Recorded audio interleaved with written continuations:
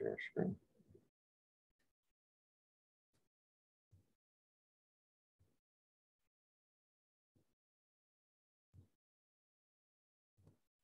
Okay, now we're ready. So these first three weeks, you, you get to listen to me quite a bit, which is, I don't know, good, bad, or indifferent. But uh, normally, uh, really starting next week, you're going to be doing a lot more kind of hands-on, looking at bones and muscles, and then we'll be dissecting brains and hearts. So you'll be doing a lot more typically, you know, again, with a hybrid course, all of the lecture materials generally online. And then when we get together, we do a little bit of lab every, you know, for a couple of hours. So, but again, these first couple weeks of labs are better done, I think, virtually. Normally, or not, you know, with visible body, I suppose. I guess that's kind of virtually. Um, so today we're going to look at tissues and skin with, with visible body. And normally, uh, tissues are done, um, we look use microscopes, so which we do have. Um, and I think, uh, you know, as the semester goes on, uh, I'll get the microscopes out to, if anybody would like to look at them. Uh, I guess it kind of depends on what your level of comfort is and level of more or less level of interest more than anything. Students generally aren't very yeah, cells and tissues are kind of at the back end of, of what most students are interested in. So I, I don't force microscopes on students anymore. it's been probably six or seven years, you know, after 10, 12 years of this is what you do, this is what you do. The microscopes, it, it, I found that students don't generally don't get much out of them as a collective. Now, individually, some students, like I say, they they don't mind, they like it, they in fact want to, because they're maybe going into being some like a lab technician or something. So they'll be using microscopes maybe more often than, than others. So that option is always available moving, moving forward every Tuesday when we're together. Again, I'm not, it's not required, but today is a prime example of when we would be using microscopes. But with the wonders of technology, we get to see uh, some excellent tissue slides together as a group and in essence what you would see if you were looking under a microscope. So uh, we're going to look at different tissue types. We'll classify tissues um, and then move into skin, uh, our first body system. Now that also concludes, uh, well, not today, it's kind of the, the beginning of the end of uh, module one, so units one, two, and three uh, are, are going to be concluded today. And then uh, you want to work on or continue working on your first assignment, that packet that has uh, all of those definitions and, and labeling, which I think we went through. So anyhow, moving forward. And again, you keep working on your visible body quizzes. If you haven't yet uh, finished your uh, lab safety quiz. You want to get that going too. I believe it's still open and available. All right, so we're going to go into visible body today and look at tissues.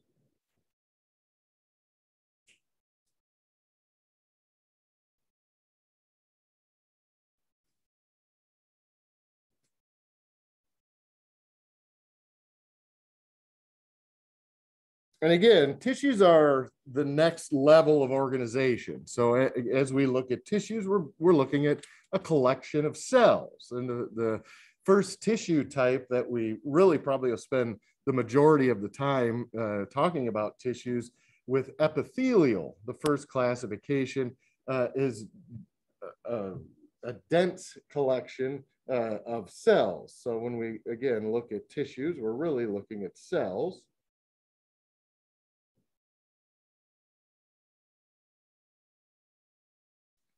Okay, so the four major tissue types uh, are epithelial. It's probably the, the, of the four, that's a term you probably maybe, you're probably least familiar with. Um, epi, we know, means upon something. EPI, that prefix, means upon something. epithelium. We're going to see that as a lining or a covering. Okay? So as we look at our organs and uh, organ systems moving forward, we're going to break down the structures on a micro scale. And the covering or the lining of the organ is going to be epithelial tissue in nature. Good morning. Okay, so epithelium is a lining or a covering. Again, we'll get more uh, into detail with epithelium as we go. Uh, connective tissue. So in essence, epithelium is going to be the most superficial of the tissues.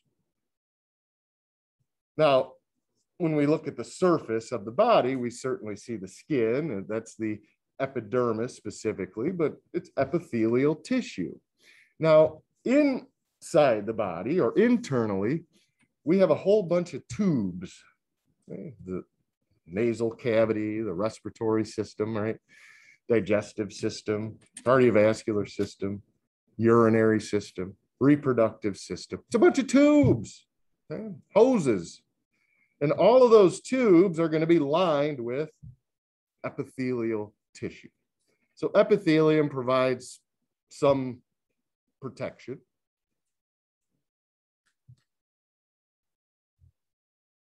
We'll see that it can provide some secretive mucus or serous fluids. We have to keep a lot of these tubes somewhat hydrated. Don't want them to be dried out. Okay. So we'll see the epithelial cells. Some of them are responsible for producing mucus, producing some sort of fluid. All right. So epithelium, we'll look at that uh, in quite a bit of detail. Uh, just deep to epithelium, we're going to find connective tissue. Connective tissue uh, is going to be cells. We're going to see it as cells kind of floating around or suspended in some sort of medium. And that medium is called a matrix. So cells in a matrix is what connective tissue is. Okay? Cells in a matrix. Whereas epithelium, because it's a lining or covering, it's more there for protection. Cells are going to be densely compacted typically. So we don't really see, so it's cells on top of cells, next door to cells, there's cells galore with epithelium. With connective tissue, cells are a little more scattered around. Okay. All right, so connective tissue connects epithelium to underlying, more underlying tissue, which would be muscle typically. Okay. Muscle is the third type of tissue, and muscle tissue comes in three forms. And we'll see, of course, muscles that you all have heard of before you ever came in here, your, your skeletal muscles, muscles that provide movement. Okay. And then, of course, the cardiac muscle, the heart. And then all of those tubes I mentioned earlier are going to be comprised of smooth muscle. Okay. We've seen this a little bit last week in cells, but uh, anyhow, muscle cells making up muscle tissue. And then the fourth tissue type is nervous tissue. Nervous tissue is ubiquitous or kind of spread all over the place. We find nervous tissue in muscle, all three muscle types. We find nervous tissue in all of the connective tissue types. We find nervous tissue plugging in or innervating epithelial tissue. In fact, epithelium is not only there for protection, but it's there as kind of a, a linkage to the nervous system, helps with sensory perception, internal and external. Okay. All right, so let's keep going. There you go, epithelial. Uh, one example that, that we're very familiar with, of course, is the skin. At least one layer of the skin. Okay. The outermost layer, the epidermis. Okay. So we have epithelial sheets. So these are going to be coverings, uh, for body structures, your linings, those internal tracts. you've probably you've heard that term, right? Urinary tract or digestive tract. And again, it, it has a T, it's not track. It's not the urinary track with a K, it's a tract with a T. It's basically a series of tubes. So the skin and those internal tracts are going to be covered or lined with epithelium. Those are sheets of, of cells. And then all of our glands you want to associate with being uh, epithelium in origin. And when we look at glands today, we're going to see that we have two different categories of glands, endocrine versus exocrine. So we'll look at that more detail later. But there, when I click on internal tracts, we see all of these different tubes. You can see the respiratory tract, which starts in the nose and nasal cavity. Heads down into the lungs. We see the digestive tract.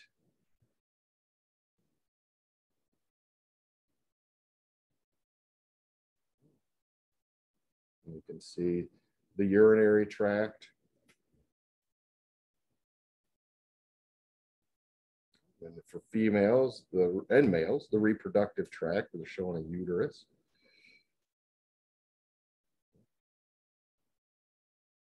Bladder and a uterus and a colon. So you've got three tubes that have exits and entrances, I suppose, to some degree. Okay. They don't really show it at all on here. And we don't really consider the cardio, like the blood vessels, they're not really considered tracts because they're not, there's not a beginning, like an opening end and then an, and then an end. Okay. The, the rest or the cardiovascular system is a closed system. So from heart out and back to the heart is just one closed system. However, those are tubes, right? Your blood vessels are tubes. They're not that much different than any other tube in the body. So they have a lining too. They have an epithelial lining. And then lastly, um, again, glands, we'll see multiple different types of glands in the body, endocrine and exocrine. This is showing uh, some endocrine glands as well as exocrine.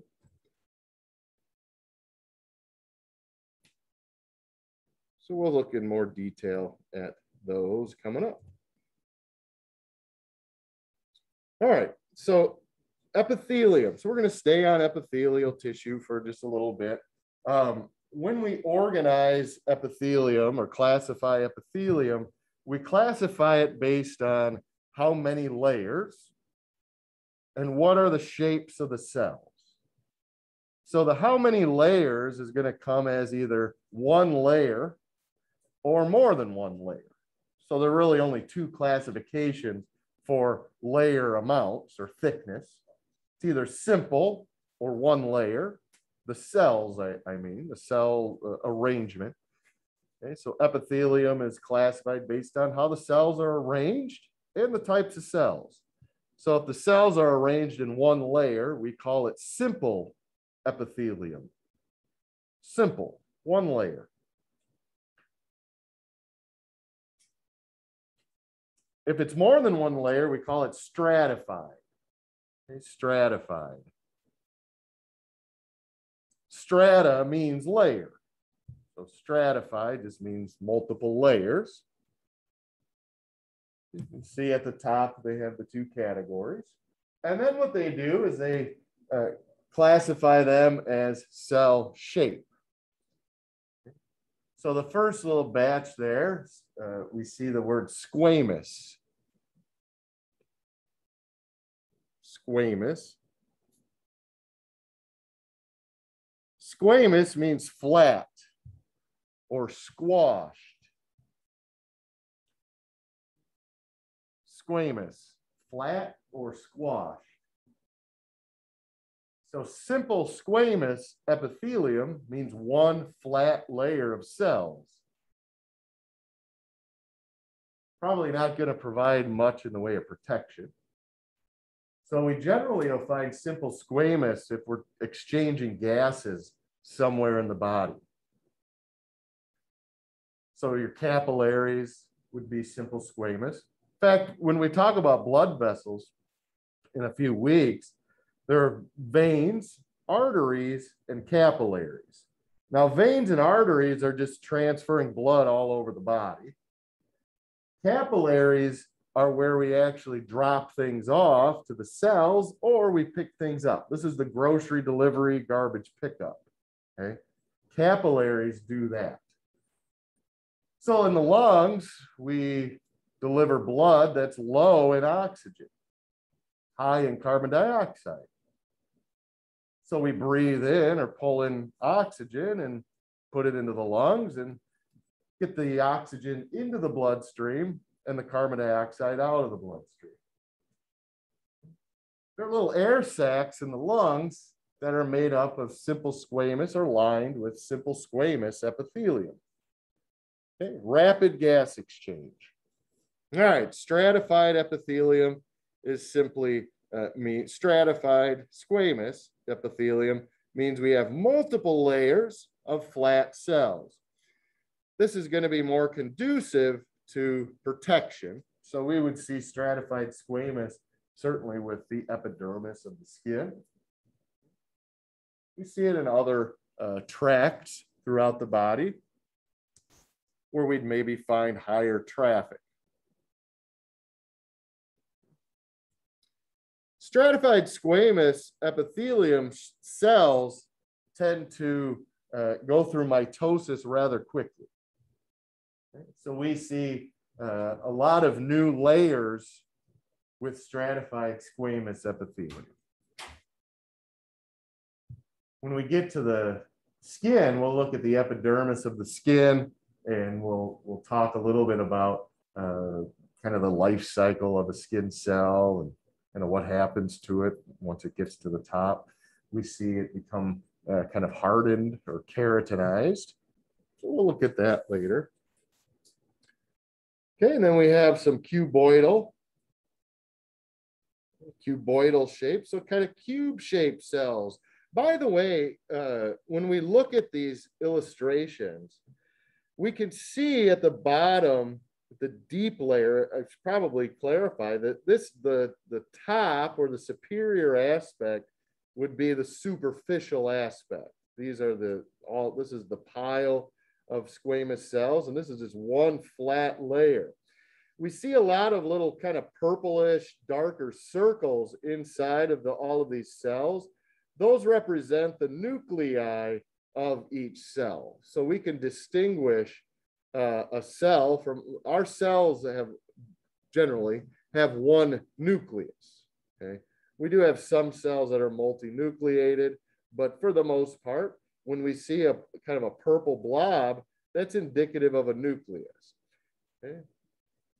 Now, we also see kind of deep or underneath these layers of cells, there's a little bit of a darker line there.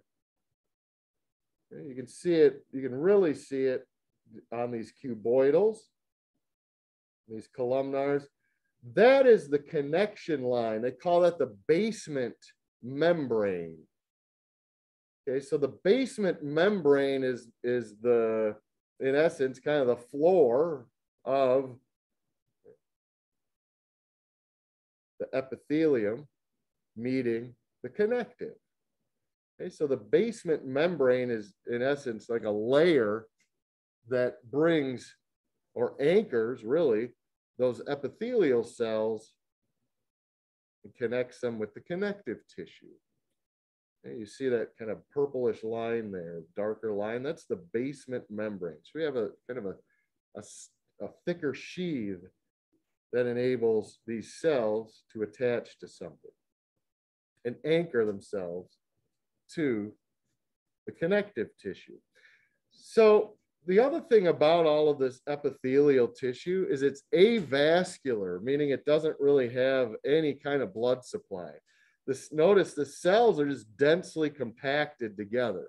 So we're not going to, there's no way of really getting a blood supply in there. And that's good because where we have high traffic areas, we wouldn't want, you know, chewing on a potato chip or a tortilla chip and it kind of slices the side of your, your mouth or your cheek, you know, and then you start bleeding all over the place. That would be intense. Or just a little scrape, uh, you know, you scratch your arm, you have an itch and you bleed all over the place because you, you know, so so we don't really want a blood supply in that that epithelium. So we generally then will see a highly vascularized region in the connective tissue. So all of the, so this bottom chunk that they show us in each of these illustrations, that's indicative of the connective tissue. So we have epithelium, densely compacted cells, and then a basement membrane, and then we get to the connective tissue. And again, that connective tis tissue is vascularized, has a blood supply. We have the primary nerve supplies also in that connective tissue. But anyhow, I just wanted to clear that up before we get too much further. Hey, cuboidal was the next shape. You can see the cells are cube shaped. We have simple cuboidal.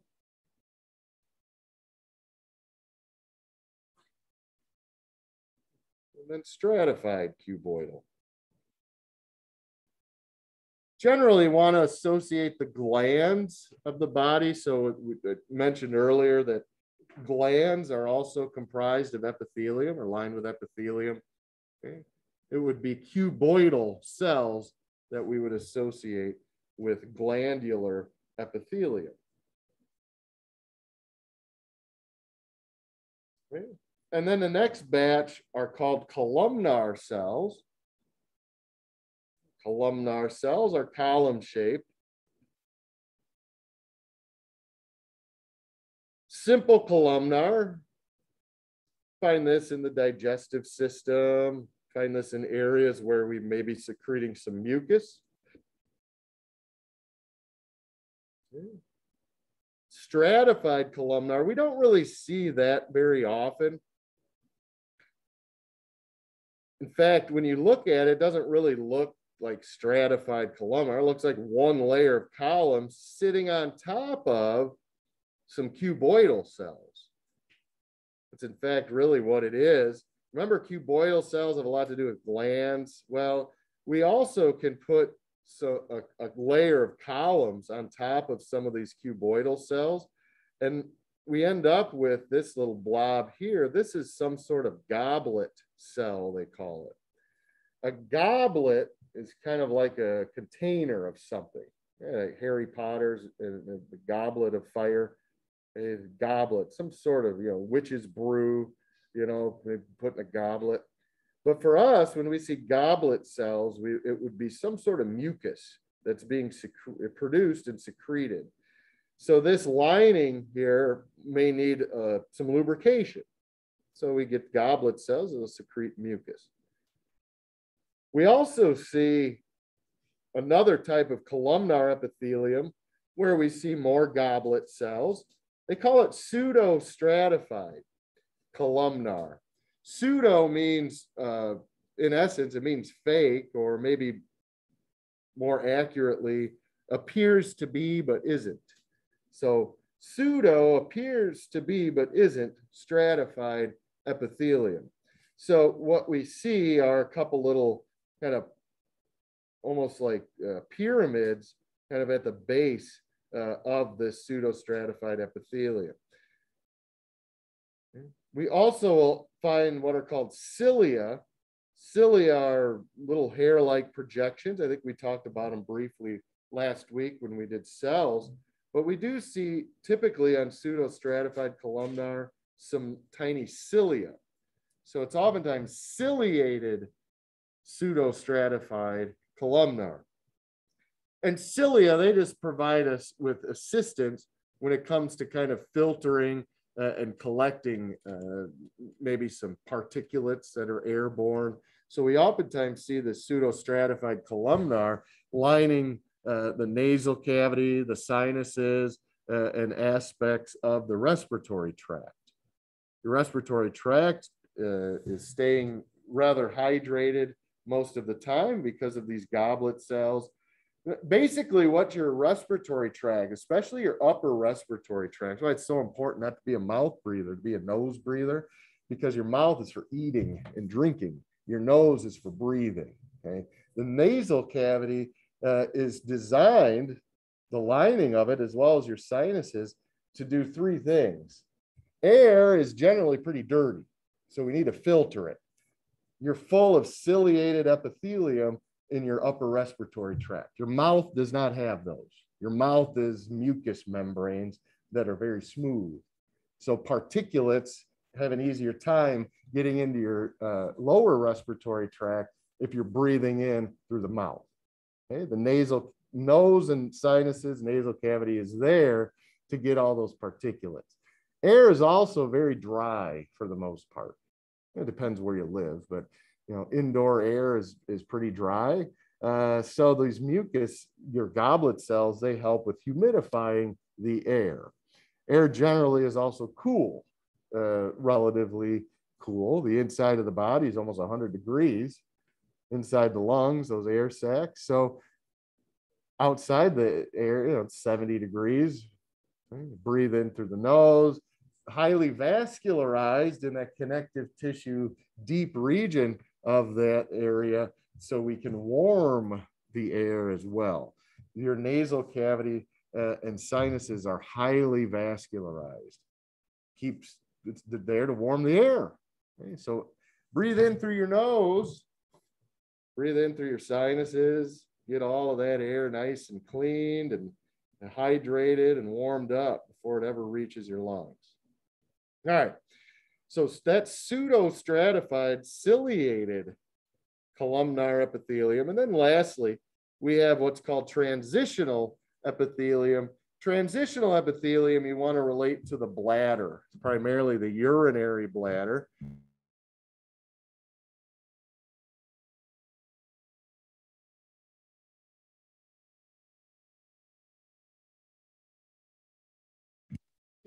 The lining gets thinner. You fill a balloon with water, the lining gets thinner, right? As the balloon blows up, the rubber gets thinner.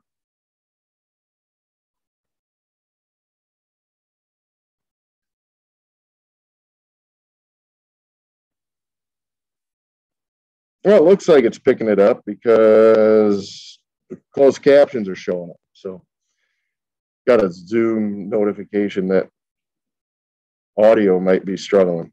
Oh, hopefully not. All right. So anyway, transitional epithelium changes its thickness depending on whether we're filling up the balloon or emptying the balloon.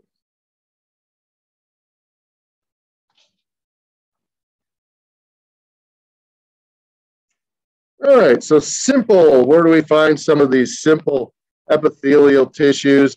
Uh, again, we could see uh, the renal glomeruli.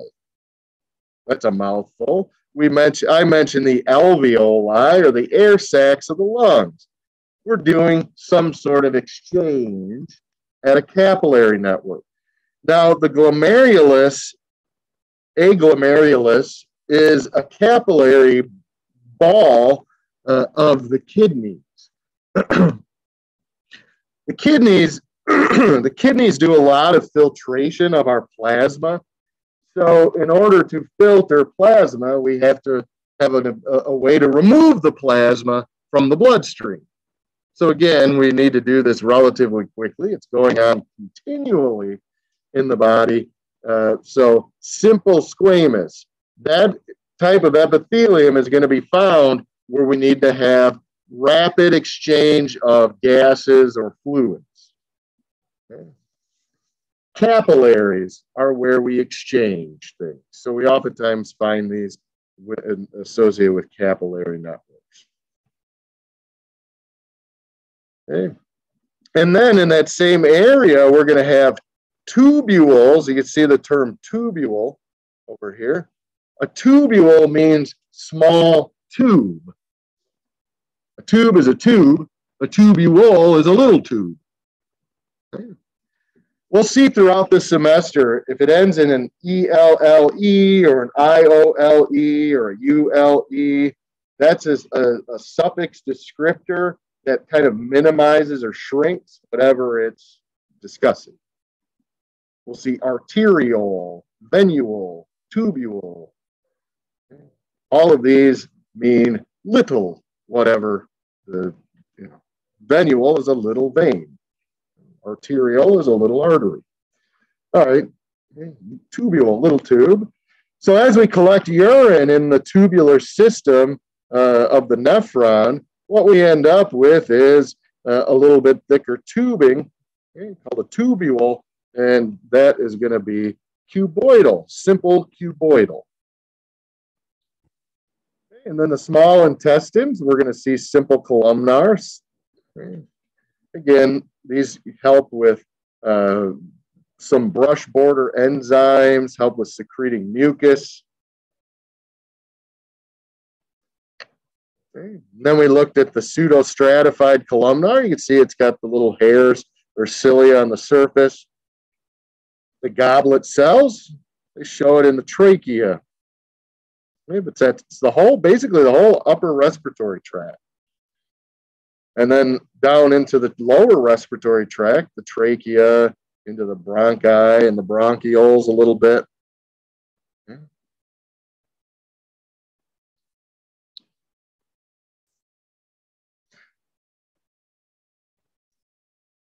So those are your simple epithelia.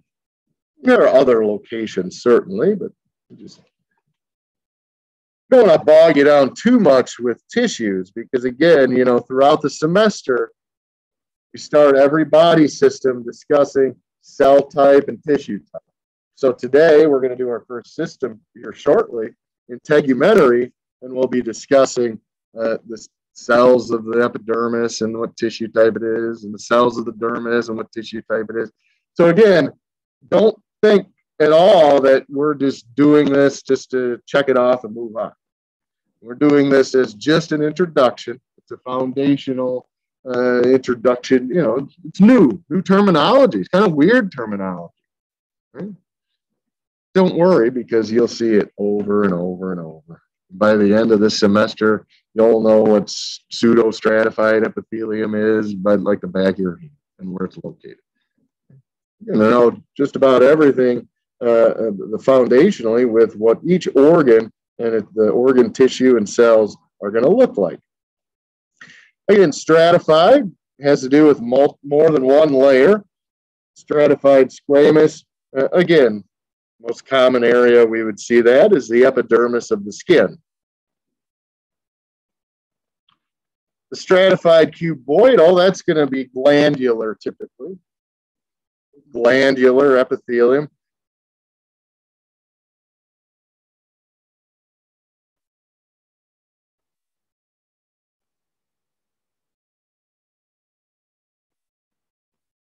Stratified columnar. Again, we don't really see that. That's extremely rare. Uh, we see it in the male urethra.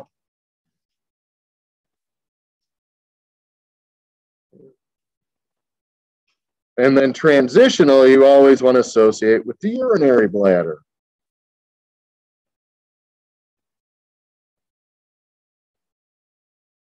Anything that distends fills up and empties.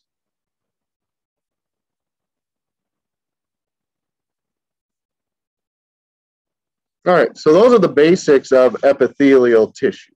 Now, um, again, when you're doing your lecture stuff, I've got the videos, the, the lecture video and PowerPoint or the, the, Google Slides that go with this. It goes into a, maybe a little bit more detail uh, of, of epithelium, uh, but anyway, you guys don't remember remember to watch those, right? You guys are are going to your Google Slides and Okay, so we're here, tissues and integumentary. And then the video, of course, is going to be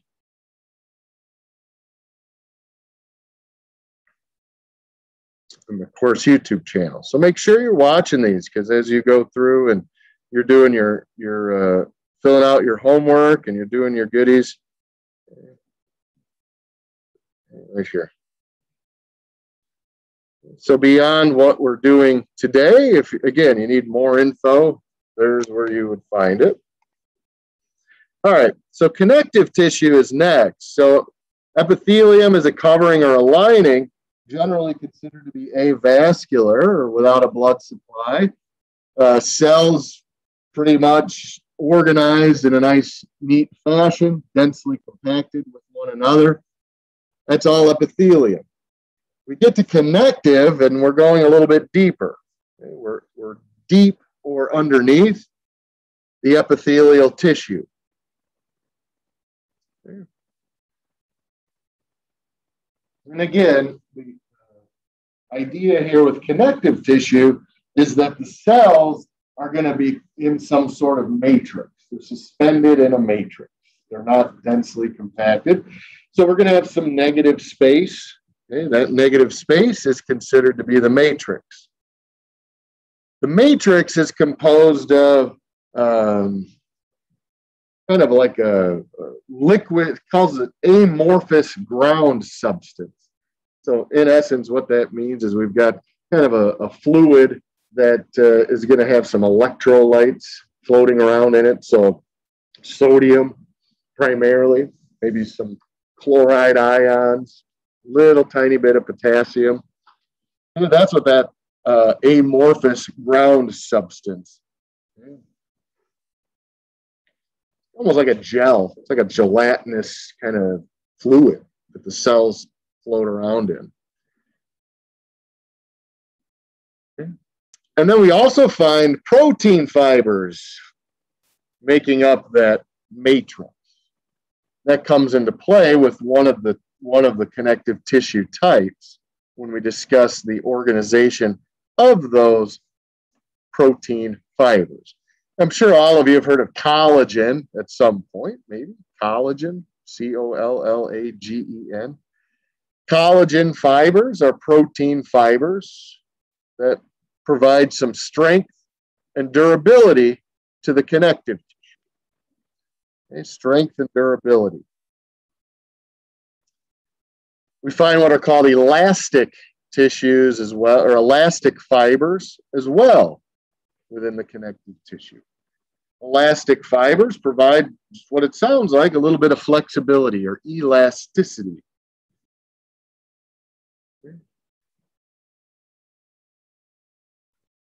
And then reticular fibers, more strands of protein that provide uh, more strength and durability, similar to collagen fibers. They're a little more flexible than collagen, but not as flexible as elastic. So they're somewhere in between, or in the middle. So we generally connect, we uh, classify connective tissue as being either areolar, adipose, or reticular.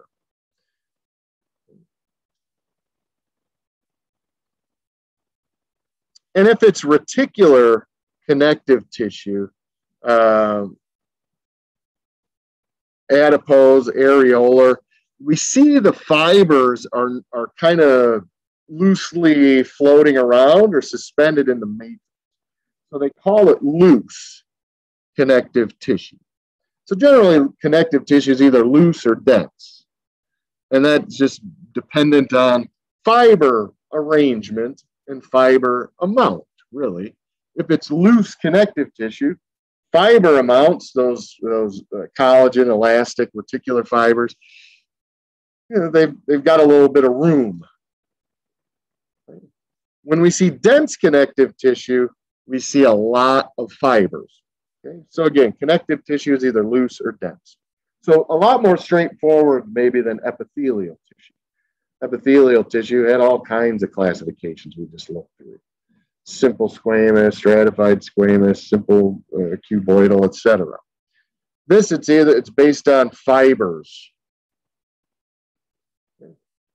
Classification of epithelium is based on cells cell structures, cell numbers. connective tissue classifications based on fibers. Exciting stuff. Right?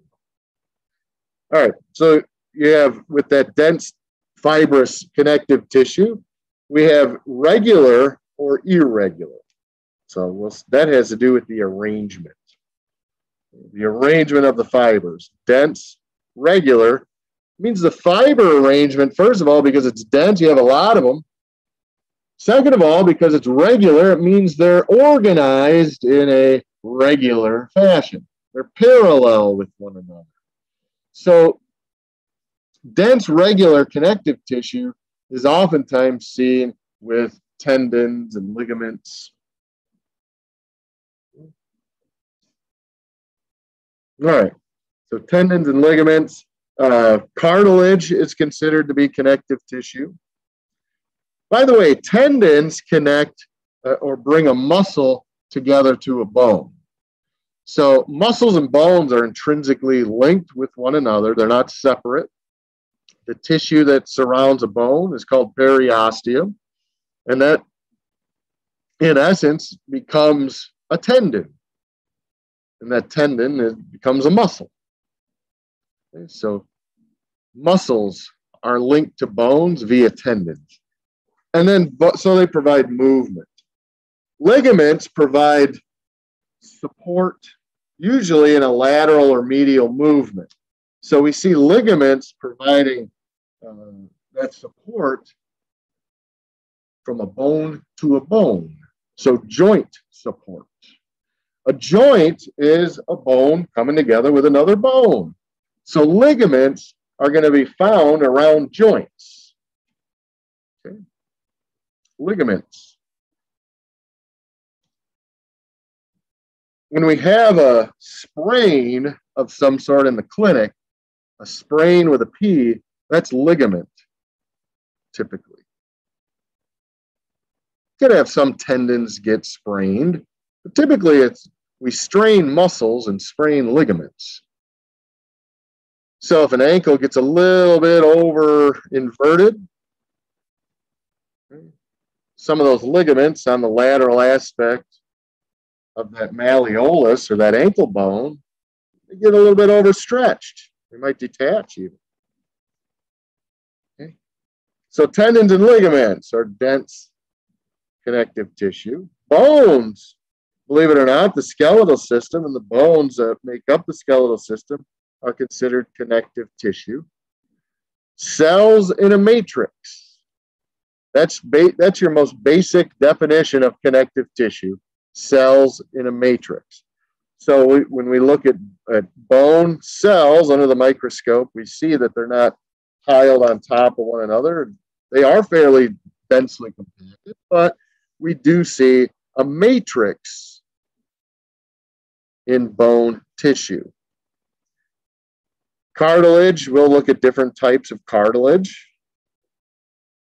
Coming up, we'll have three different cartilage types. Okay. And then blood is considered to be a connective tissue, oddly enough. Think of blood as a liquid, but it's about half liquid 55% plasma and 45% cellular. So, plasma is the matrix of the blood tissue. Cells, red blood cells, white blood cells, platelets, those are the cells that are in the matrix. We see the same thing with lymph. Lymph. Lymph is a fluid. Lymph is, is primarily plasma. It's going to have some other goodies in it, electrolytes and white blood cells, what are called lymphocytes.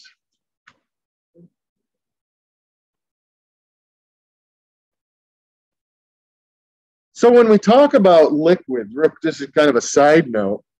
Uh, in the body, like you know, blood, we think of blood as a liquid, but again, 55% of your blood is plasma the liquid portion.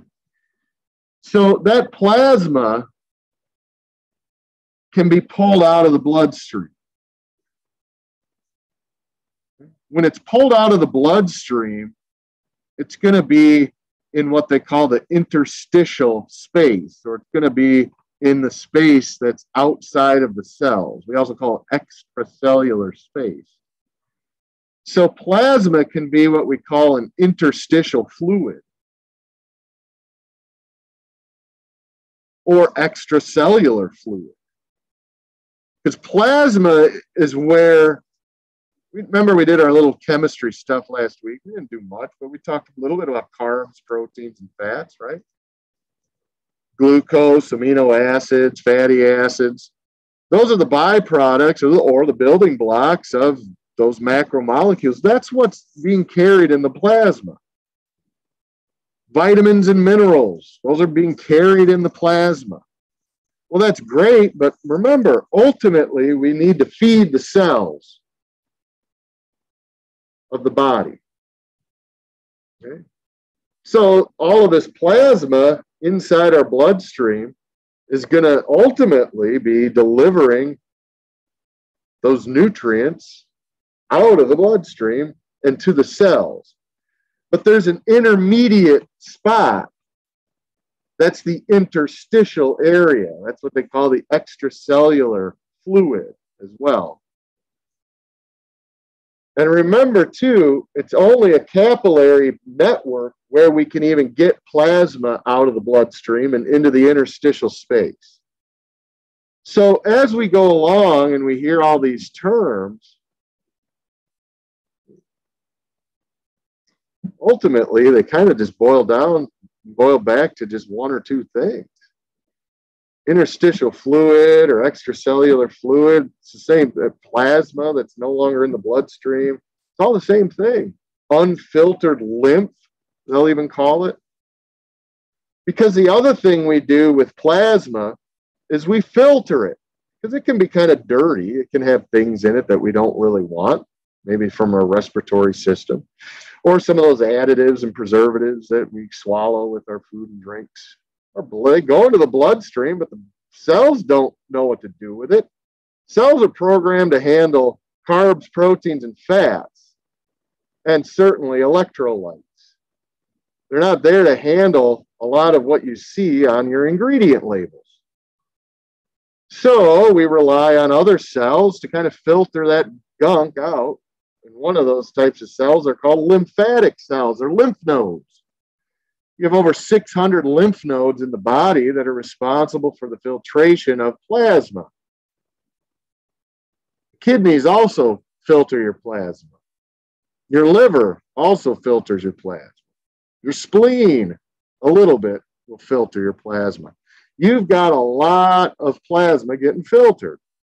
And the more you overwork those filters by introducing a lot of unusable material into your bloodstream, well, the more inflammatory conditions you're going to see, the more illness and disease you're going to see.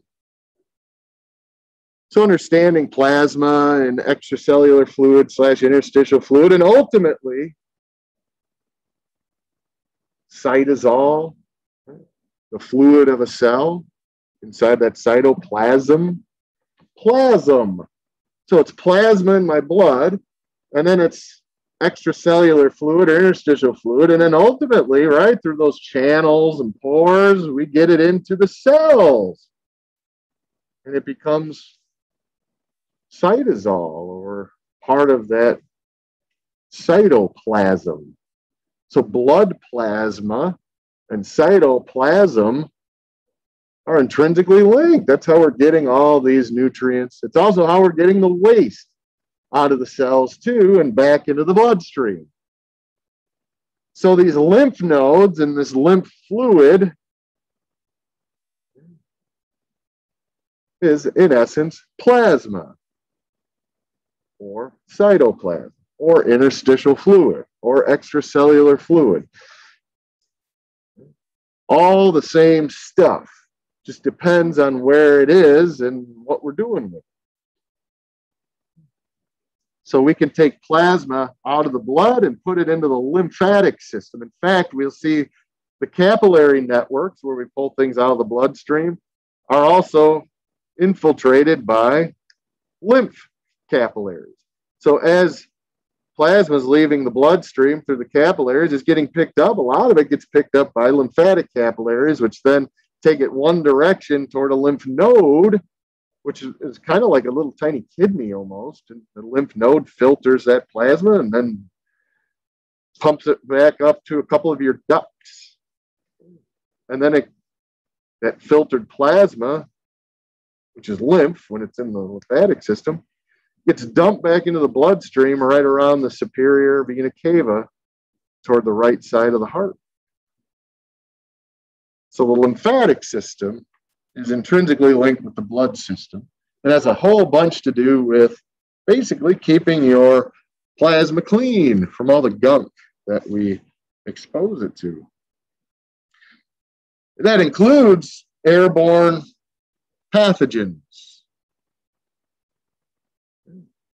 Plasma has, or, or lymph has some specialized immune system cells. All right, so anyway, connective tissue proper. So th those are some of your dense, oops. Okay, so we looked at, at some dense connective tissue. We'll look at it in a little more detail coming up. And then we have loose connective tissue, characterized again by loosely arranged fibers and abundant ground substance. And again, the ground substance is, is the, is the fluid, uh, the plasma of the connective tissue.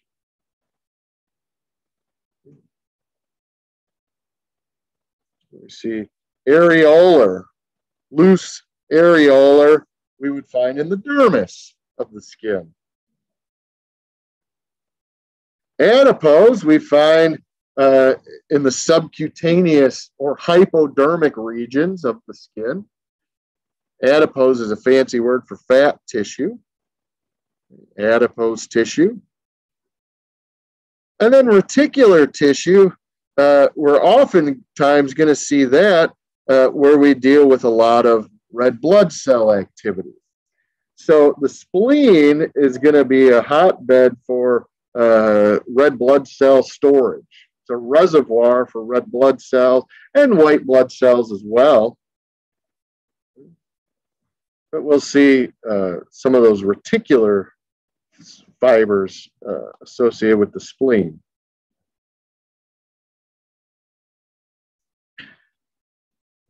So when we look at areola, we'll look at areolar first. So we're looking at the papillary dermis. Now, what that means is um, it's the most superior superficial aspect of the, it's basically where the dermis connects to the epidermis.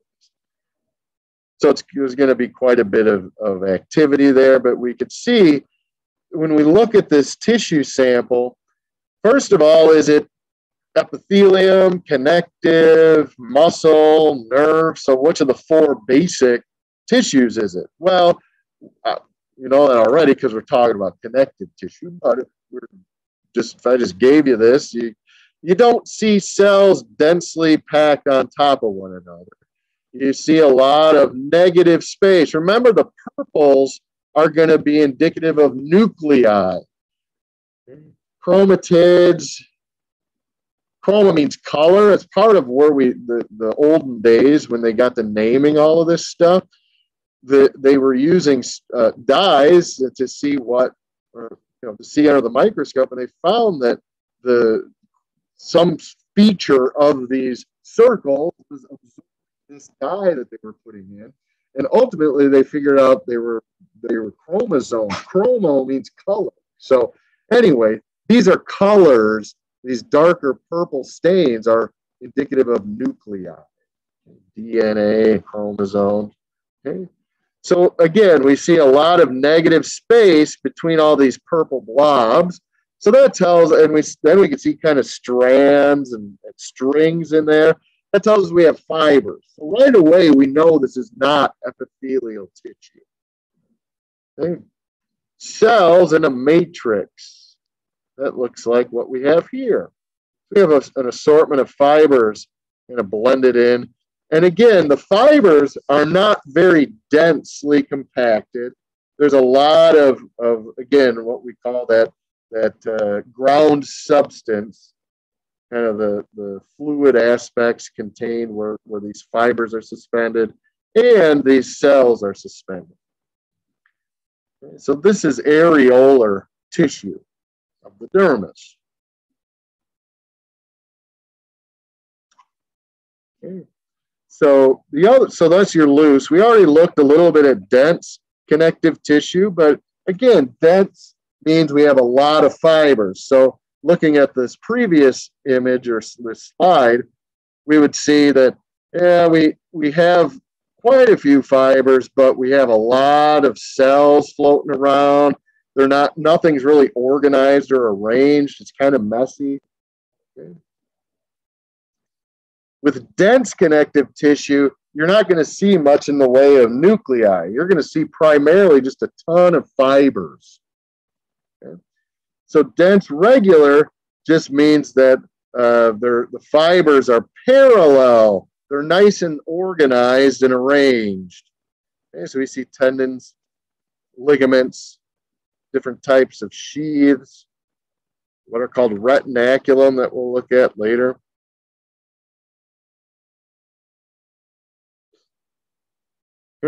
some of the the uh, the dermis in some areas of the body we'll see is more dense, irregular than maybe areolar.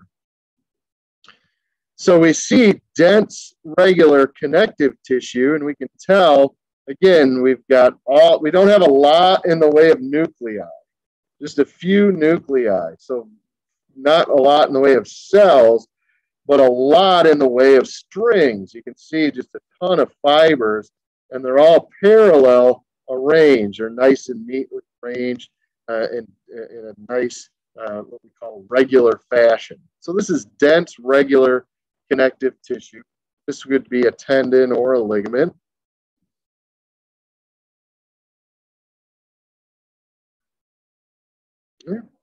And then the special types of connective tissue, and we'll see this in more detail next week. We get into the skeletal system uh, next Tuesday. So again, we'll circle back and see uh, some of these uh, bony tissues, but you, but kind of an introduction to it. So next week we're going to see this again uh, in a little bit more detail. But we can see what they've done. They have a bone here. They took a small chunk of it. They blew it up over here. So what we have on top, kind of the covering of the bone, is called peri, which means around, and then ostium, which has to do with the bone. So we have periosteum. And then we'll see some different types of canals of blood supply.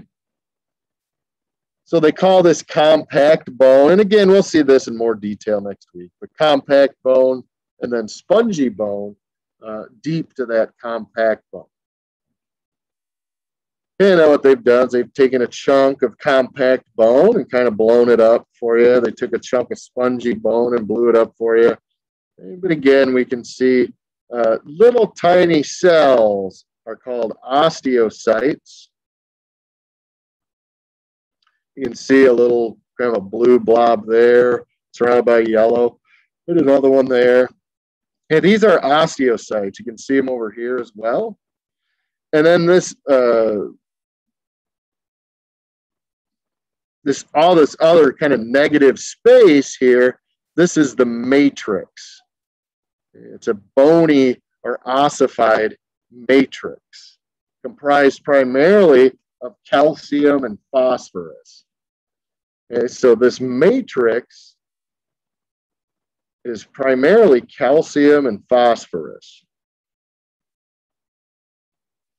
And again, we've got cells in a matrix. And they show a couple different types of cells over here, osteoblasts and osteoclasts. Again, we'll see these in more detail next week. Blasts are bone builders, so they're laying down bone, and clasts are bone chiselers. They're modeling the bone or kind of chiseling it. So bone tissue is connective tissue. We have cartilage. We're going to see three types of cartilage. hyaline cartilage, elastic cartilage, and fibrocartilage. And generally, in that order, uh, we're going from least fibrous to most fibrous.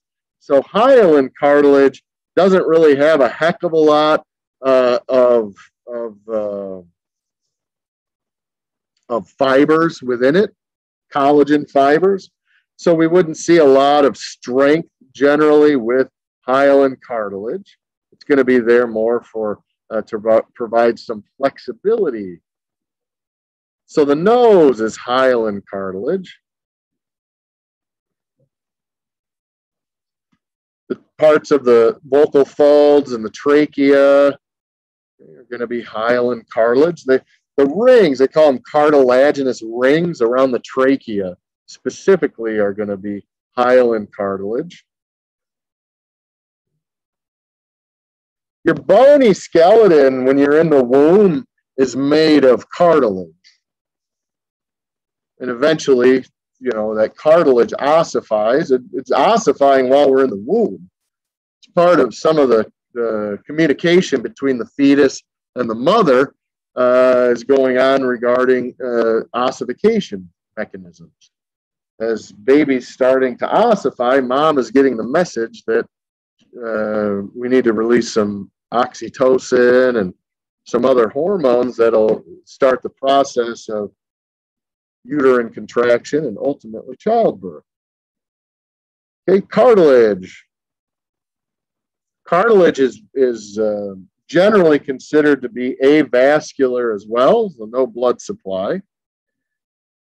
Elastic cartilage is next. So this is going to have fibers, but they're going to be primarily elastic fibers. See the ears, what's called the epiglottis. That's the little flap that closes your trachea off from your, basically closes the respiratory tract off from the digestive tract when you swallow food or beverages. But yeah, fibrocartilage is next. We'd find that uh, primarily between the vertebrae. We call these the intervertebral discs. We also find it at what they call the pubic symphysis. That's where the pubis bones meet in the front. A little brick of it right there. The pubic symphysis. This is fibrocartilage, and then all of those intervertebral discs are fibrocartilage. So they're going to provide a little bit more in the way of strength and durability. And again, we're still in connective tissue. We're cruising along, almost done with connective tissue. Hey, hyaline cartilage, which again, the nose and the, think of like the sternum and the ribs. They call it a milk glass appearance. Unless you're an antique dealer or buyer, you probably wouldn't know what milk glass is.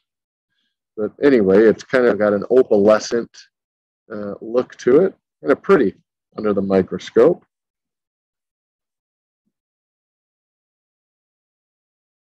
And again, next week when we get into bones, we'll see uh, more skeletal uh, and cartilaginous tissue, connective tissue. All right, almost done with connective tissue. Lastly, uh, blood. Again, we spend a whole week talking about blood uh, and if it, as well as the immune system. But here shows if we separate blood, we get 55% uh, of it plasma, and the other 45% is what we call cellular. Okay, so cells in a matrix.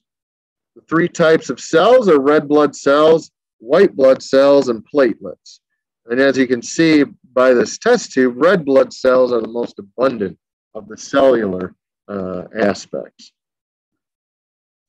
And again, we spend a whole bunch of time on blood, so I don't want to get too much going there. Same with this system. We spend quite a bit of time on each of these, so I'll go through this one relatively quickly. So first tissue type, epithelium. Second tissue type, connective. And then deep to all of that connective tissue, we're going to find what's called muscle tissue. Muscle tissue is again either skeletal muscle, meaning that the muscles are attached to the bones of the body and they provide and are there to provide some sort of movement.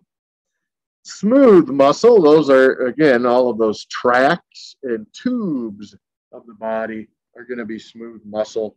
And then lastly, cardiac muscle, of course, dealing with the heart. Specifically and primarily, you know, when we get to the cardiovascular system, we're going to dissect uh, hearts, and you're going to see that uh, the ventricles of the lower chambers of the heart, those are going to be much more, uh, they look a lot like skeletal muscle. They're very striated, very strong, very solid. They're the ventricles. And they call it cardiac muscle because those, it, it looks, again, it has a lot of striations, looks a lot like skeletal, but it's going to have some specialized discs called intercalated discs that we'll see. Uh, but a heart, especially the ventricles, looks a lot like if we took a tubular skeletal muscle and just kind of formed it into a ball. They, they look a lot alike. Right? Now, the atria or the the sup, uh, superior chambers, those are the what we call the receiving chambers of the heart. They're more like bladders because they're just they're like filling up with blood and then there's a trap door and the blood just kind of dumps out of them into the ventricles. The ventricles have to do all of the contraction. So when we eject blood out of the heart it's the ventricles that do it. So they look a lot more like skeletal muscle whereas we'll see the atria have a little bit more of a smooth muscle appearance not as not really much in the way of striations again like your urinary bladder is smooth muscle uh, your stomach is smooth muscle. So we classify muscle beyond just these three skeletal, smooth, and cardiac. We also discuss them based on uh, whether they have what I mentioned a few minutes ago striations or stripes, and whether uh, they are voluntarily moved or involuntarily moved. Well, Voluntary movement only occurs with one of those, and that's skeletal muscle. Right? We have voluntary control of our skeletal muscle. Smooth muscle, so you know your digestive tract. So when you chew food, you're using skeletal muscles, but as soon as you swallow that food, you're now relying on smooth muscles, uh, tubes, to involuntarily move that food all the way through 25 to 30 feet of tube uh, till it leaves uh, the body out to the toilet.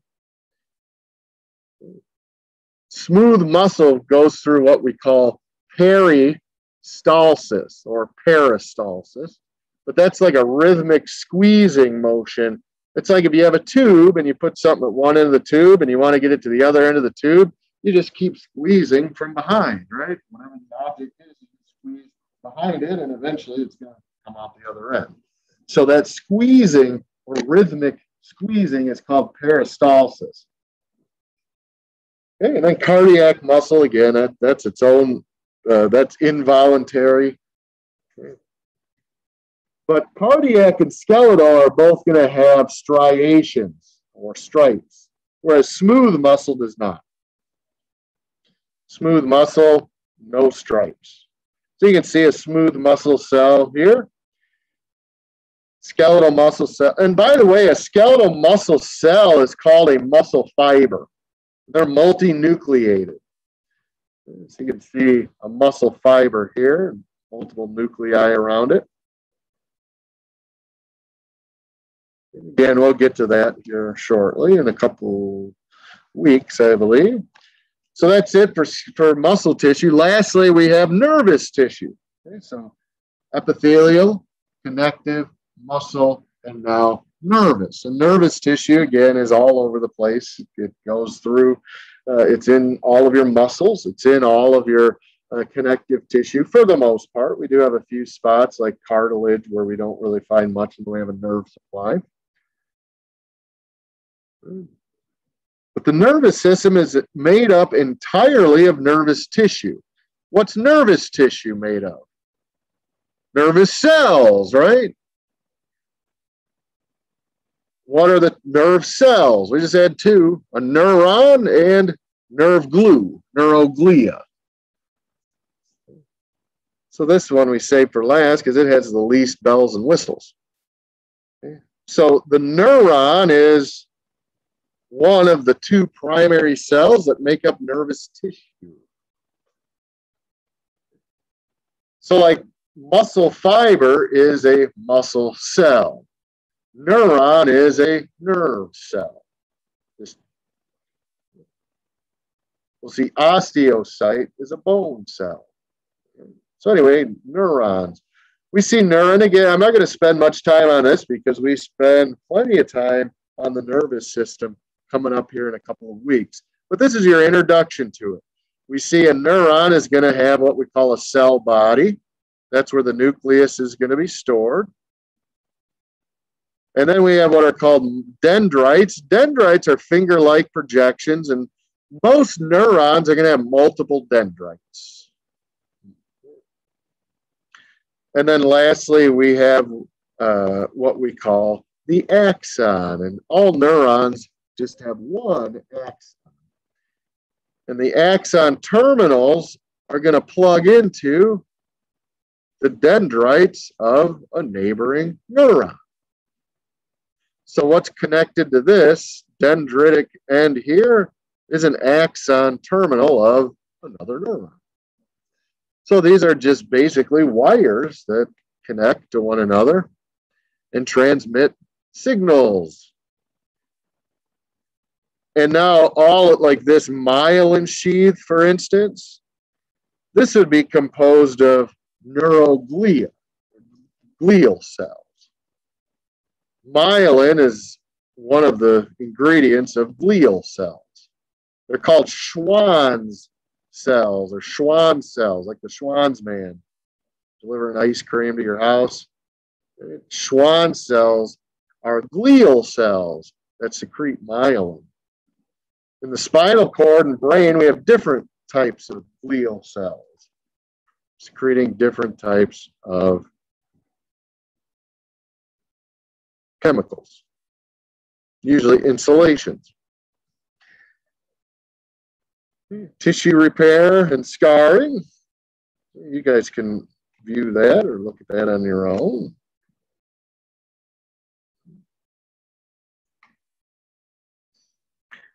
All right. Uh, let's see.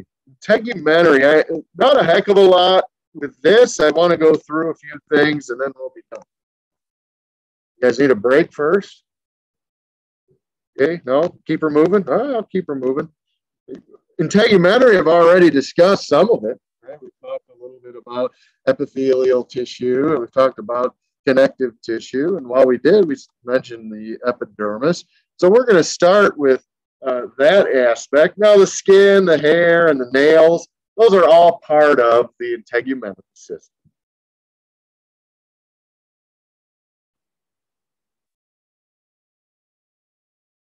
There we go. All right, skin layers. This is where we want to focus our energy a little bit. Uh, the epidermis is going to be uh, the epithelium. It's going to therefore be the covering of the skin. And you can see, whoops, you can see the epidermis blow it up. You can see it's the, this top layer. You also see it's kind of bumpy at the end. That's that basement layer that where it connects with uh, uh, the underlying dermis. One thing we also see, let me undo that. Uh, as we look at the epidermis, we can see again all of these little circles indicative of nuclei of cells. So we have densely compacted cells. That again tells us that we're dealing with epithelium. Now, a couple of other features, we can see a pore kind of passing through the epidermis. And again, that pore is not associated at all with the epidermis. It's down in the dermis where that pore uh, or you know whatever that gland is. Uh, this is going to be a sweat gland and then it has its tube that has to exit the body. So that that tube just happens to puncture through uh, the epidermis. We also see all of this yellow. And, and by the way, when we when we're looking at organs and organ tissues throughout the semester, especially these illustrations, color is a big deal. Now, red is always going to be indicative of oxygenated blood. Red is generally going to be uh, oxygen, nutritive. Okay. Blue is going to be uh, carbon dioxide or low oxygen blood. Typically, then we would say red vessels are going to be arteries or arterioles, and blue vessels are going to be veins or venules. And then yellow is always indicative of fat. So we can see some kind of yellow over here, quite a bit of yellow here. We can see some yellow at the bottom as well. Okay. So yellow is indicative of fat. Now, nerves are surrounded with myelin, and myelin is primarily lipid or fat. So nerves are also represented as yellow. So all of these little buggers here are going to be nerves, and then these are different types of nerve endings. So these circles, they might help with pressure, like, like the sense of pressure. If we put pressure out here on the skin, goes down and, and involves these little corpuscles. And then we have these other little nerve endings that plug into that basement membrane of the epidermis. And those are going to help maybe with uh, pressure as well, but maybe uh, maybe some tactile uh, aspects. And then we might have some temperature or um, pain receptors as well. But anyway, you can see we've got nerves and nerve endings kind of scattered all over the place. And then this is kind of a yellowish white. That's going to be sweat gland. And then this, we have what's called an oil gland or a sebaceous gland.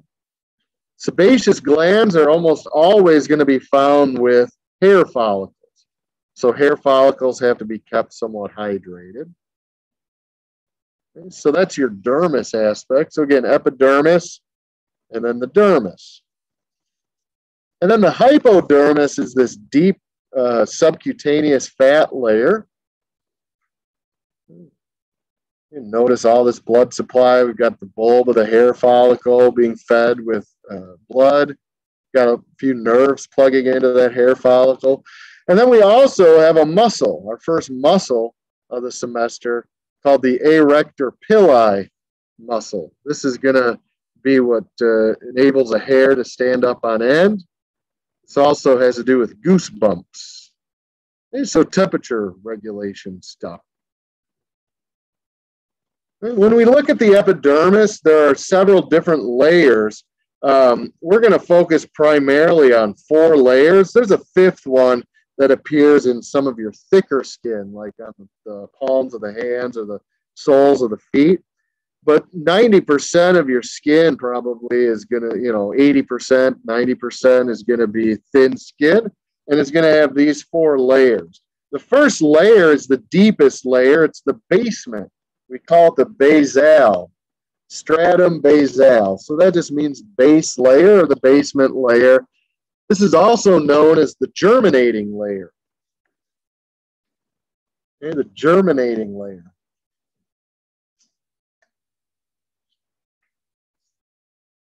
So cell division and mitosis is going on down in the basement, a stratum basal. The lifespan of one of these newborn baby uh, cells, skin cells, is going to be about a month, maybe five weeks, four to five weeks. So from basement to top or corneum, we'd say it's about uh, 28 to 35 days. So every 28 to 35 days or so, you've got a whole new batch of epidermis. In fact, most of the dust and dander in your house and your vacuum cleaner is probably skin. Yeah, dead epidermis. If you have pets, it's even more so. All right, so that's the basal layer.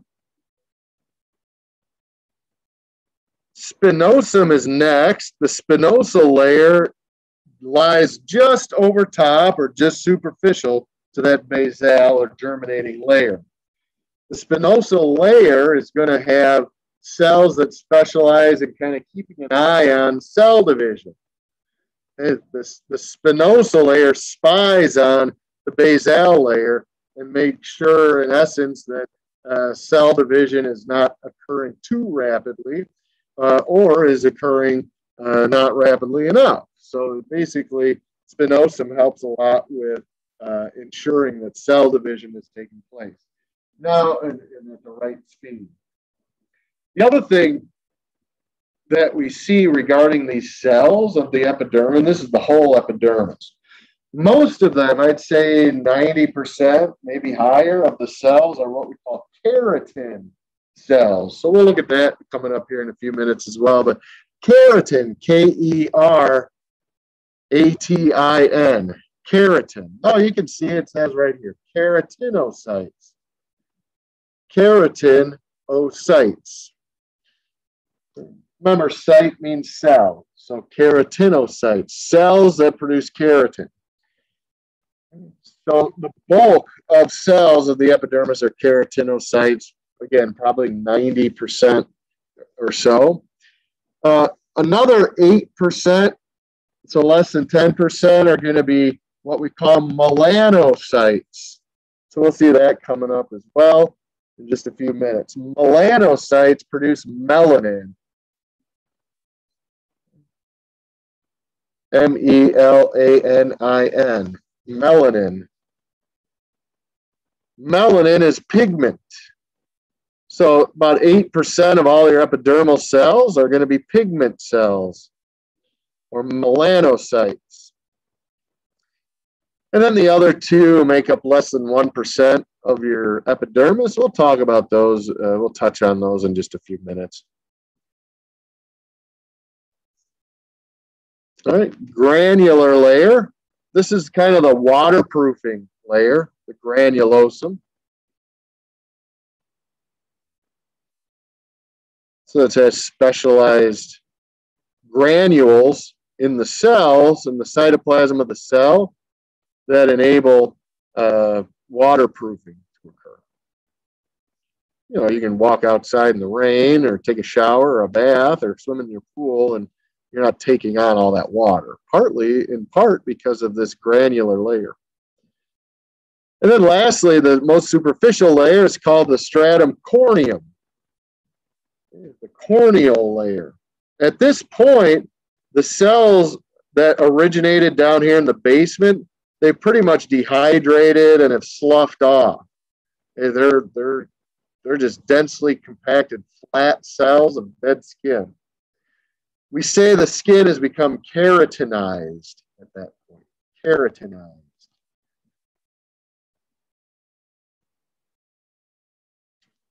The cervix and the vaginal canal uh, of the female are very similar to the epidermis. Uh, the difference is there's more mucosal aspects. You're going to have more goblet cells. But when they do a pap smear, they're basically taking a cervical tissue sample to, to make sure that this, this, the epithelium hasn't become keratinized. So there are keratinocytes of the cervix, and they shouldn't be hardened or keratinized. So that's what, uh, and if they have been, or there are signs of keratinization of cervical cells, that could be indicative of cervical cancer. So that's one of the preventatives. So a pap smear is like a preventative for uh, cervical, not a preventative, I guess sort of preventative. It's a early detection, right? Like a mammogram maybe, or a prostate exam for males. Okay, so anyhow, uh, keratinocytes. These are all these, but so this is the basement membrane here. So underneath is going to be the connective tissue of the dermis. So all of this is going to be epidermis. And then you can see the corneal layer. All the cells have lost all of their nuclei. All just flat, kind of dehydrated at that point. There's a third or a, a fifth layer that comes between the granular layer and the corneal layer we find in thick skin called the stratum lucidum. Lucid means transparent in essence. So it's kind of a transparent layer.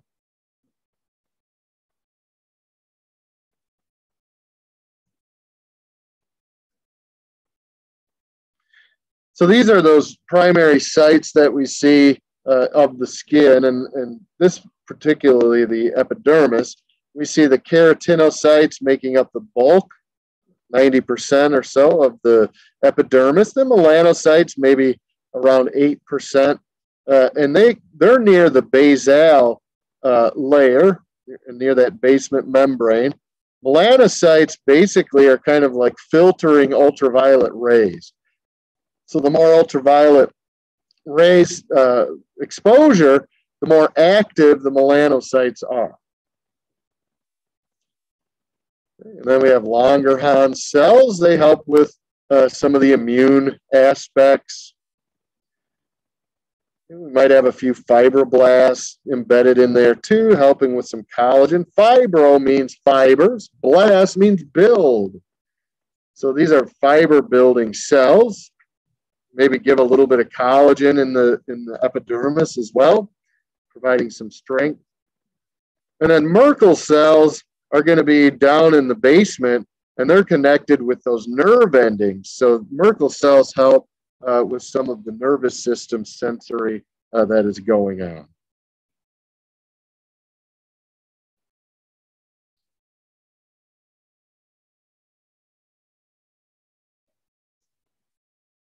Just more of the same going through melanocytes, keratinocytes, melanocytes, Langerhans cells.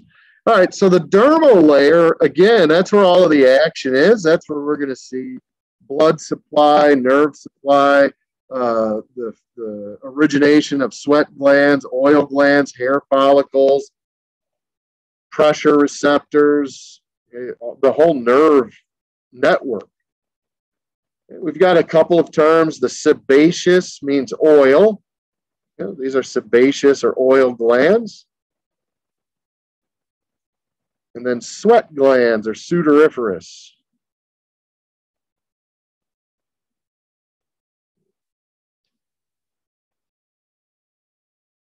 So the papillary region is where we, papilla means bump. So wherever we see little bumps, that's going to be the papillary region. So that's the most superficial region of the dermis, and it's where it attaches to the basement of the epidermis. So then the rest of the dermis is called the reticular region.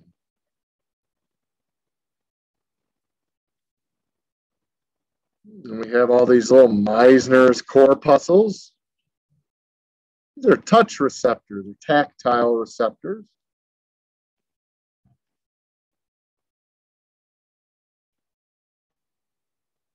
And oil glands attached with the hair follicles keeps the hair follicles from being too rigid or dried out or dehydrated. And then, of course, sweat glands or sudoriferous glands. And then the hair follicles.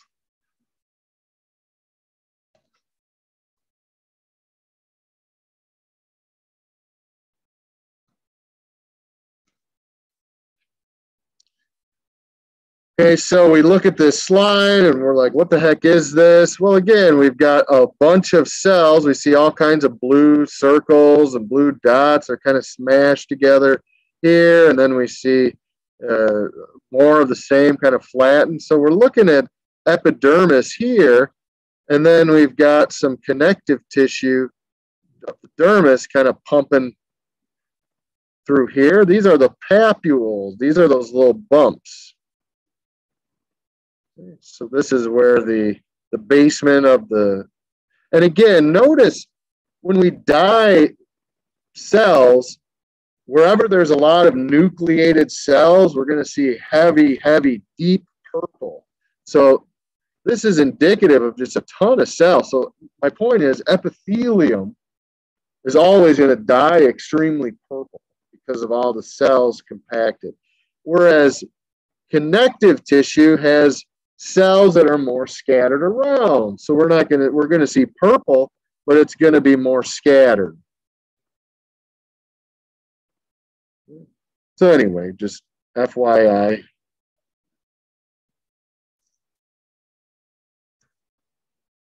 And again, thick skin versus thin skin, we have that stratum lucidum. That's going to be one of the primary differences.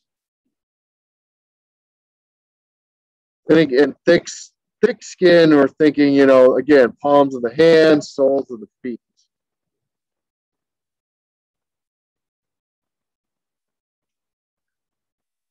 Certainly a lot thicker, superior layers for thick skin. That's why they call it thick skin. Sebaceous or oil glands, we looked at those. Sweat glands, we've already seen as well. Um, dermal circulation, again, blood, one of the primary functions of the integumentary system is not just protection, but it's thermal regulation. So these sweat glands and these pores are extremely important for temperature regulation. Blood vessels, uh, these capillaries that are embedded throughout the dermis uh, provide some warmth, certainly, so we can uh, warm the skin. Uh, and again, we can cool the skin by vasoconstricting or moving blood away from the skin. Um, so, anyway, dermal circulation. Uh, vitamin D synthesis. These are more physiology things. This is what we do in advanced is go through some of these. But the other thing that, that we do is uh, we store vitamin D uh, in the liver. We store vitamin D in subcutaneous fat cells. Okay. We store vitamin D in a few other spots in the body. But uh, in order to get calcium to absorb in the small intestine, so everything you consume gets absorbed in the intestines, Calcium needs a little extra help for absorption, and that has to do with vitamin D.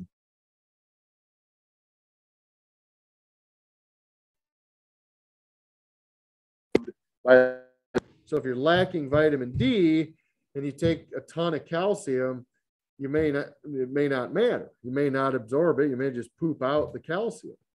You're not going to absorb it because you might be lacking in vitamin D. And vitamin D is fat soluble, so you store what you don't use. It's going to be stored again in your fat under your skin as well as in the liver. Now, vitamin D can only get activated in its stored state if you are exposed to ultraviolet radiation. So, UV rays coming through and being filtered by those uh, melanocytes in the skin ultimately are going to trigger or activate stored vitamin D. And that stored vitamin D will then trigger some chemical reactions of the liver that ultimately enable you to absorb calcium. It's a lot of rigmarole to get calcium, and you need a lot of calcium. I know you have a lot in your bones, but calcium is going to provide your muscle movements with the ability to contract you have a ton of calcium stored in your muscle fibers as well. And your muscles need calcium continually in order to function. So, vitamin D uh, synthesis relies on UV radiation or ultraviolet radiation. And again, the innervation aspect we, will, we talked a little bit about primarily uh, dealing with, again, the peripheral nervous system. And then lastly, we talk or look at what are called dermatomes. And, you know, the, the vertebral column and the spinal cord, the vertebral column uh, surrounds or protects the spinal cord. Well, in between each vertebra, we're going to see what are called spinal nerves that come off of those vertebrae. Spinal nerves are either delivering some sort of motor signal out to the muscles, or they're receiving sensory information from, you know, from somewhere else. So dermatomes show us on the skin if we have issues with sensation in a certain area of the skin, it could be related to a problem with uh, with uh, the spinal cord and the vertebral column. So, the, so in essence, what they're saying is all of the innervation of the arms down to the fingertips, all of those nerves are coming off of the upper cervical and maybe the, around the first thoracic pair of spinal nerves.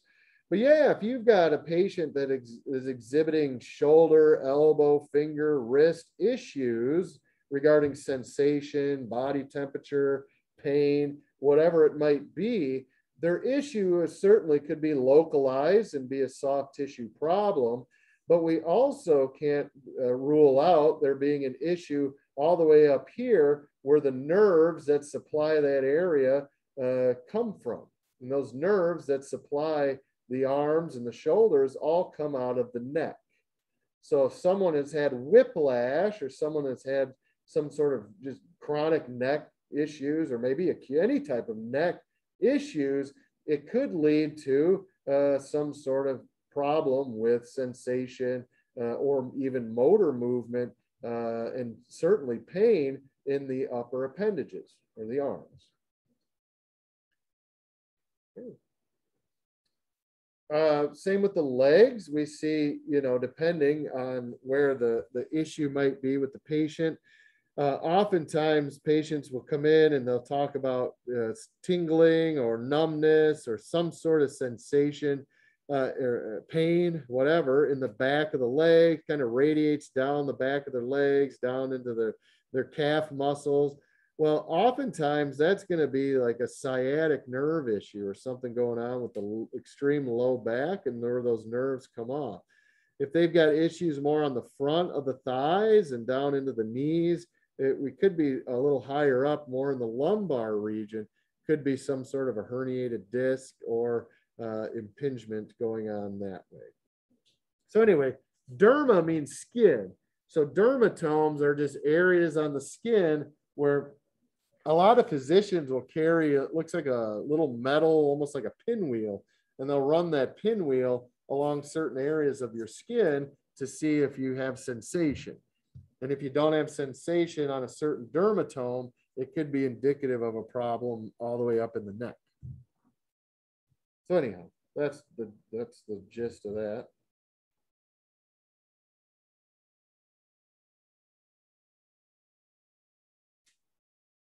All right, I think I am just about done for the day.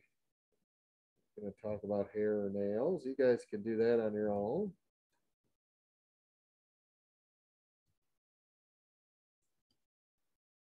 And the tissue repair, we already looked at a little bit. And that's it. That takes us into next week. So next week, again, I'm not going to do a heck of a lot with bone. So between now and next Tuesday, certainly you want to be finishing up your, your unit one, two, and three, or your module one stuff, uh, your first assignment, you know, you want to be continuing to work on that, doing your identifications. But uh, if you, once you get all of that done, if you're looking ahead to week or to week, I guess it'd be week four next week, we're going to start it on the skeletal system. So you can certainly look at some of it in visible body. Um, I'm not going to do a heck of a lot with it. Um, I will be hand you well you will be, but uh, we will all be kind of handling the bones, and you'll be looking at uh, different bone uh, structures and bony features, and so anyhow, that's the that's what's on tap for next time.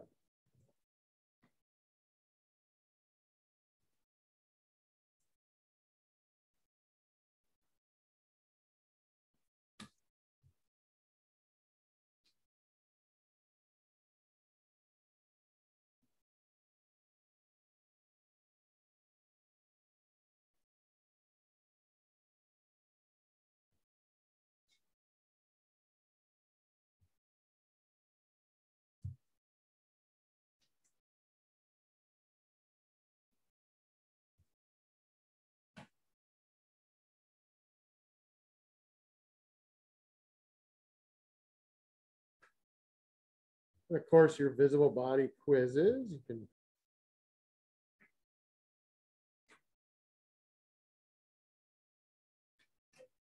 You're welcome.